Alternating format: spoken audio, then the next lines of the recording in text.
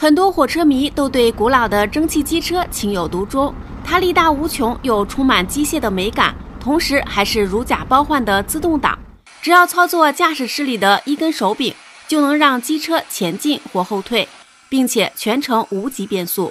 而实现自动挡所用到的零件，仅仅只是轮子上的几根连杆而已，这不禁让人心生好奇。所以，我们准备找个蒸汽车头来研究研究。在一个小站附近传来了耳熟的轰鸣声，循声望去，发现一辆1940年制造的火车头正在缓缓进站。机车司机失魂落魄地介绍，他们刚离开利物浦，德国人就开始空袭，铁路两边烟雾四起。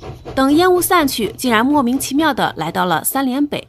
正好我们来研究下它的传动和变速原理。这个车头两边各有三个动轮。第三动轮上装着被蒸汽活塞推动的摇杆，带动轮轴上的曲管推动轮子转起来。这个曲管还通过连杆带动前面两个动轮同步转动。曲管头部还装了一个偏心曲管，轮子转起来就会带动上面的偏心杆前后摆动，从而又带动月牙板在支架上摆动。月牙板摆动时又推拉半径杆前后运动，推动合并杆来移动气室里的阀门。合并杆的另一端连接着结合杆，这根铁棍和滑板上的十字头相连，十字头是被气缸的蒸汽活塞，也叫做气缸钩背推动的。它一端连接着气缸钩背杆，一端连接摇杆来传递动力。机车另一侧还有一套相同的连杆机构。工作时，锅炉出来的高压蒸汽从中间的管子进入气室，充满气室阀的联络钩。这时，司机将回动机手柄置于中位。通过拉杆牵拉月牙板上的半径杆，移动到开槽的终点，不再随月牙板摆动。此时，如果轮子正在转动，合并杆就只能被结合杆单独推动，带动气室阀小幅震动，不能露出进气口送气，机车就会停止。前进起步时，司机将回动机手柄前推，带动半径杆下移，使气室阀行程增大。此时，无论其他连杆位置如何。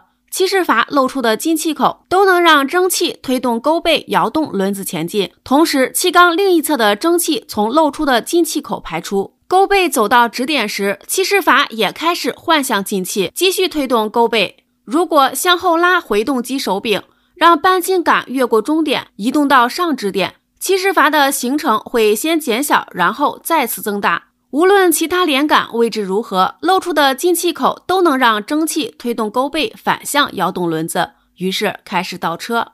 因此，月牙板、偏心杆、半径杆、结合杆和合并杆构成了机车换向的回动机，并同时起到了无级变速的作用。如果重车起步需要最大的扭矩，就要将半径杆推到底，使气室阀的振幅达到最大。此时，进气口打开时间最长。蒸汽推动钩背做功的距离也最长。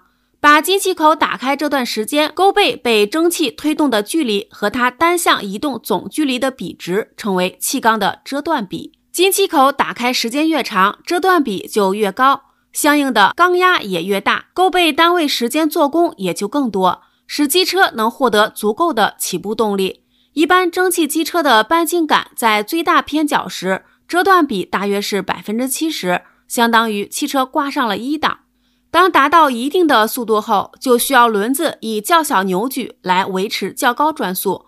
于是，司机减小半径杆的偏角，使气室阀振幅减小。如此一来，进气口露出时间较短，气缸折断比减小，蒸汽推动钩背做功的行程在总行程中占比降低。也就是气缸只保持较低的平均压力来维持钩背较高速的往复运动。就像汽车挂上了高速档，所以蒸汽火车头牵引旅客列车时，在正常速度下，气缸的遮断比通常会减小到百分之三十左右。可见，只需要控制半径杆上下移动，就能控制机车换向，还顺便实现了无级变速。而所需的零件只有几根铁棍而已，可谓相当简洁。